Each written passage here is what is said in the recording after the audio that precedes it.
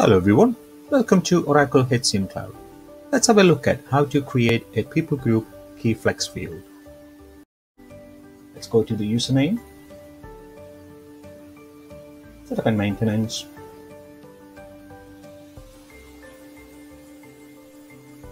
task area, implementation project, and search for your project. People group key flex field, you don't have a dedicated task, so we need to search and find the task called manage key flex fields. So let's. Okay.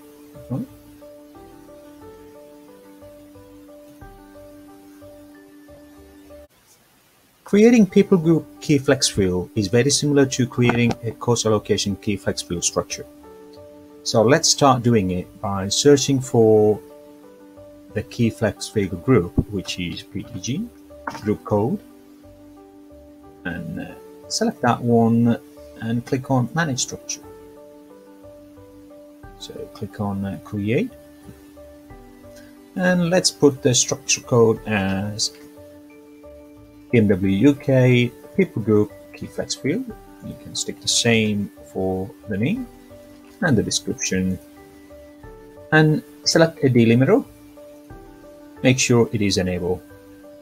Click save before you create the segment. Okay. And create a segment. So let me create a segment called runner.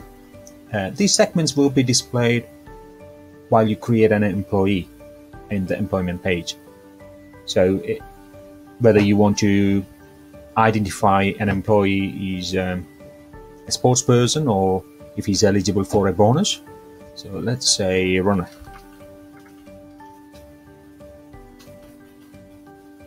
Name will be created automatically. Description runner, sequence number, and prompt to give a short prompt. Enable display with say 5 column, stick it to segment 1. Default value set. We could say yes or no, so I will choose the uh, the seeded value, yes or no. So it's, it's one, so yes or no. Click OK. Right, and save and close. So click on Save and Close. And done. Okay, so the next step is to create a structure instance. So click on that and create new structure instance code. So it's BMW UK people group keyflex field structure instance. Create the API name itself.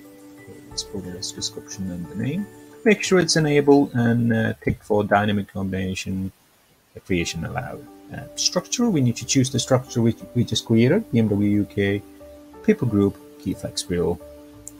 So it will auto-populate the segment code, the one of which we just created. Okay, save and close.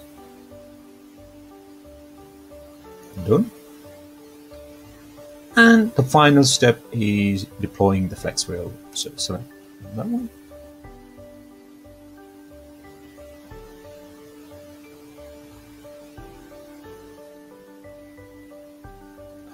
Click OK.